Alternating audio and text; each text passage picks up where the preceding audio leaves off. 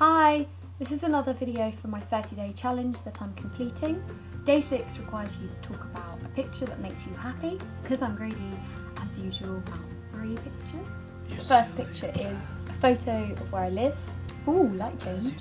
Sorry, the sun's sort of moving. So it's actually a photograph of where I live back in Cornwall. As you know, I'm away at uni at the moment and I love having a reminder of home. It was actually a birthday card from my brother.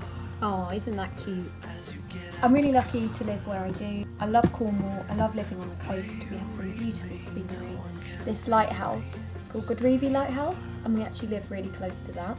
I'm lucky to be in Bournemouth though, studying. I haven't left the coast behind completely. We've got great beaches here in Bournemouth. After uni, I'm thinking about moving to London. Sorry, light chain with one of my bestest friends, Lucy sexy mama, so I'll be leaving the beautiful scenery behind. I'll have to make sure I visit home lots and lots. So I said I was going to talk about three pictures. Another picture that makes me really happy is one of me and my best friend Daisy. This was taken on one of our hangover trips to Tesco in the morning when we were still actually in our pyjamas. Reminds me again of being at home in Cornwall and all our nights out we used to have. Trips to Tesco for food were our speciality. We'd buy just tons and tons of ready meals go home and binge all day in front of Sex and the City. Although it's great because at the moment she lives in Winchester, which is literally just up the road. Finally, the third picture, me and my lovely boyfriend Sammy. This was taken in St Ives in the summer, I think.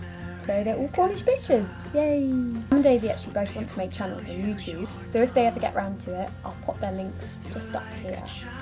I hope you enjoyed sharing some of my favourite pictures with me. I'll be back tomorrow for day 7 of the 30 day challenge. Bye!